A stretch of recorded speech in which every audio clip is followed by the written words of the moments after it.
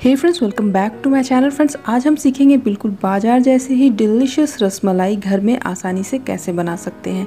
बस कुछ simple tips हैं और ट्रिक्स हैं जिसे आपको फॉलो करना है, जिसे मैंने इस वीडियो में शेयर किया है। तो इस वीडियो को अंत तक ज़रूर देखें और आज की वीडियो भी आपको ईजी लगे हेल्पफुल लगे तो इस वीडियो को ज़रूर लाइक करें शेयर करें अपने फ्रेंड्स और फैमिली के साथ। तो चलिए फ्रेंड्स बनाना शुरू करते हैं। इतनी रसमलाई बनाने के लिए हमें चाहिए एक लीटर काव मिल्क। मैंने पैकेट वाला काव मिल्क यूज़ किया आप चाहें तो फ्रेश काव मिल्क का भी यूज़ कर सकते हैं। अब हम इस दूध से छेना तैयार करेंगे। इसके लिए हम इस दूध को एक बर्तन में डालेंगे और एक बॉयल आने तक गर्म कर लेंगे। अब आप देख सकते हैं, दूध में एक बॉयल आ गया है। अब हम स्टोव को बंद कर देंगे और दूध को हम दो से तीन मिनट के लिए साइड पर रखेंगे। जब तक दूध थोड़ा ठंडा हो रहा है, हम दूध को फाड़ने के लिए एक बोल में दो बड़ा चम्मच सिरका लेंगे और सेम क्वांटिटी में हम दो बड़ा चम्मच पानी ले लेंगे और इसको अच्छे से मिला लेंगे। फ्रेंड्स आप चाहें तो सिरका की जगह पर दो बड़ा चम्मच नींबू का रस भी ले सकते हैं। अब ये रेडी हो चुका है। अब हम इसे दूध फाड़ लेंगे। दूध को एक बार हल्का सा चला लेंगे हम इस तरह से। और अब हम इसमें सिरका और पानी का मिक्सचर थोड़ा थोड़ा करके डालेंगे। सिरका और पानी का मिक्सचर डालने के बाद दूध को हल्का हल्का चलाएँ।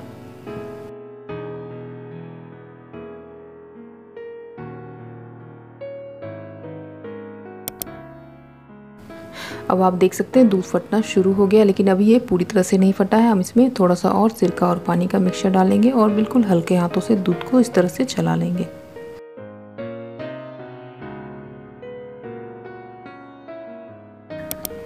अब आप देख सकते हैं, दूध पूरी तरह से फट गया है, छेना अलग हो गया है और पानी बिल्कुल अलग हो गया है। तो बिल्कुल इसी तरह से आप भी छेना तैयार करें।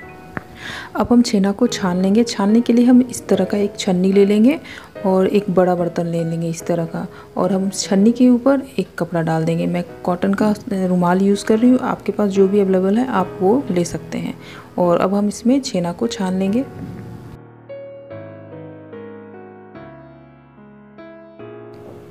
ये देखिए, छेना का पानी पूरी तरह से निकल गया है और इस पानी को आप कुकिंग में यूज़ कर सकते हैं।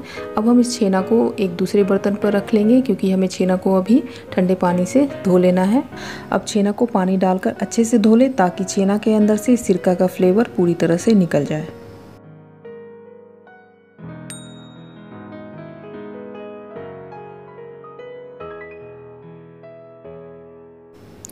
छेना को अच्छे से धो लेने के बाद अब हम कपड़े को चारों तरफ़ से इस तरह से पकड़कर पोटली की तरह बना लेंगे और हल्के हाथों से छेना से एक्स्ट्रा पानी इस तरह से निचोड़ कर निकाल लेंगे। हमें बिल्कुल हल्के हाथों से इस प्रोसेस को करना है।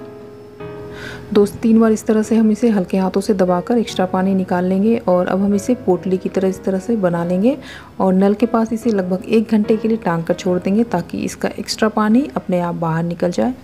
जब तक छेना रेडी होगा, हम रसमलाई के लिए रबड़ी रेडी कर लेते हैं। इसके लिए हम हाफ़ लीटर दूध लेंगे। इतनी रसमलाई बनाने के लिए हाफ़ लीटर दूध काफ़ी है और मैंने काव मिल्क यूज़ किया है। आप चाहें तो फुल क्रीम मिल्क का भी यूज़ कर सकते हैं। अब हम दूध में रसमलाई का फ्लेवर और कलर लाने के लिए डालेंगे कुछ धागे, केसर के। आप इसकी जगह पर येलो फ़ूड कलर का भी इस्तेमाल कर सकते हैं ताकि इसमें हल्का सा येलोइश कलर आ जाए। और अब हम इस सबको मिलाते रहेंगे ताकि ये जल्दी से बॉयल हो जाए और जब इसमें एक बॉयल आएगा तो हम इसमें बाकी की चीज़ें ऐड कर लेंगे। अब आप देख सकते हैं दूध उबलना शुरू हो गया है। अब हम इसमें वन थर्ड कप चीनी डाल देंगे।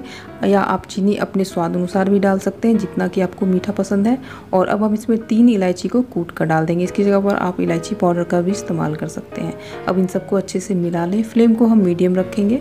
अब दूध को हम थोड़ा सा गाढ़ा होने तक पकाएँगे। दूध को हमें बहुत ज़्यादा गाढ़ा नहीं करना है, नहीं तो जो हम रसमलाई के लिए रसगुल्ला तैयार करेंगे, वो दूध को अब्जॉर्ब नहीं कर पाएगा। तो दूध को हमें थोड़ा सा गाढ़ा करना है और किनारों को इस तरह से हम स्क्रैच करते रहेंगे, ताकि इसके किनारों पर जो मलाई बन रही है वो दूध में घुलती जाए। तो इसी तरह से हम इसे लगातार चलाते हुए थोड़ा सा गाढ़ा कर लेंगे। अब आप देख सकते हैं, दूध थोड़ा गाढ़ा हो गया और केसर का भी बहुत अच्छा कलर आया है। और इसकी कंसिस्टेंसी देखिए, ये परफेक्ट है, हमें इससे ज़्यादा इसे गाढ़ा नहीं करना है। अब हम स्टोव को बंद कर देंगे। स्टोव को बंद करने के बाद अब इसमें पाँच से सात बारीक कटे हुए पिस्ते डाल देंगे और बिल्कुल बारीक कटा हुआ पाँच से सात बादाम डाल देंगे और इन सबको अच्छे से मिला लेंगे। अब इसे साइड पे रख दें। छेना को रेस्ट करते हुए एक घंटा हो गया इसलिए पहले हम शुगर सिरप तैयार होने के लिए रखेंगे। इसके लिए हम एक बड़े पैन में तीन चौथाई कप चीनी लेंगे और सेम कप से हम इसमें डालेंगे छः कप पानी। फ्रेंड्स रसगुल्ला को स्पॉन्जी और सॉफ्ट बनाने के लिए उसकी चाशनी का पतला होना बहुत ज़रूरी है। तो इस बात का ध्यान रखें कि रसगुल्ला की जो चाशनी है, वो बिल्कुल पतली होनी चाहिए। अब हम इसे मिला लेंगे और मीडियम टू लो फ्लेम पर पकने देंगे।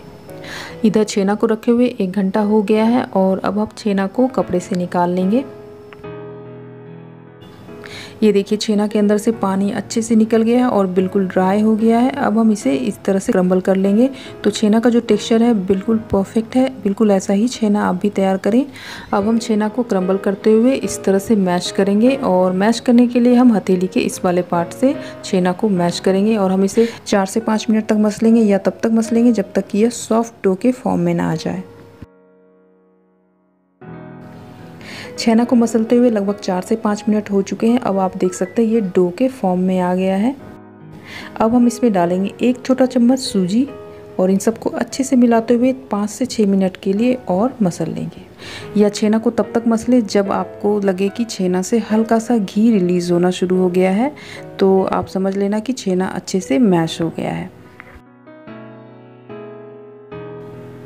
छेना अच्छे से मैश हो गया है और ये अच्छे से बाइंड भी हो रहा है और इससे हल्का सा घी भी रिलीज़ हो रहा है। अब हम इस छेना से सात रसमलाई की टिक्कियाँ बना लेंगे। आप चाहें तो ज़्यादा भी बना सकते हैं।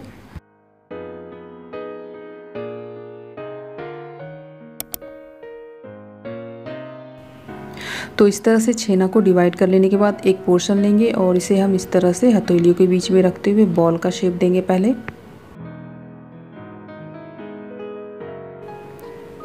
बॉल बनाते समय आप देखेंगे इस तरह से हथेली में चिकनाई सी दिख रही है। इसका मतलब है छेना अच्छे से मैश हुआ है। अब हम इस छेना के बॉल को दबाकर इस तरह से चपटा कर देंगे।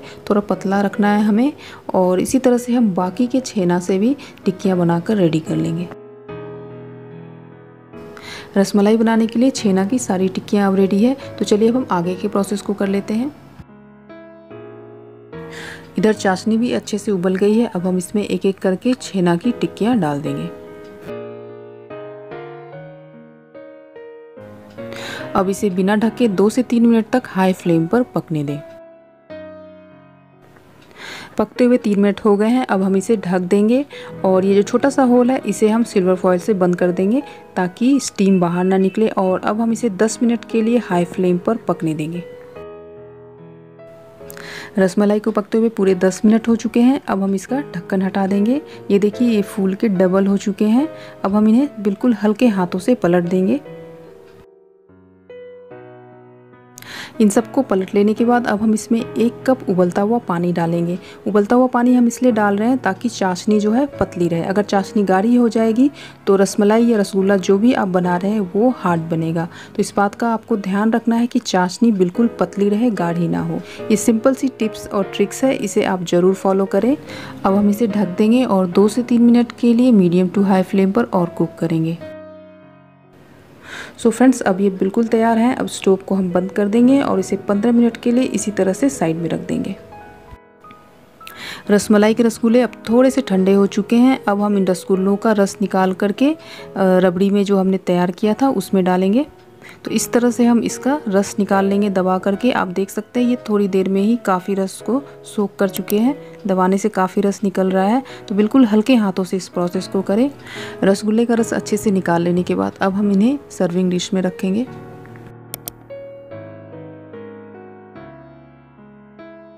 अब हम इनके ऊपर हल्की सी गर्म रबड़ी डालेंगे ताकि रसगुल्लों के अंदर ये आसानी से सोप हो सके। सो so फ्रेंड्स आप इस टिप्स और ट्रिक्स को ज़रूर फॉलो करें।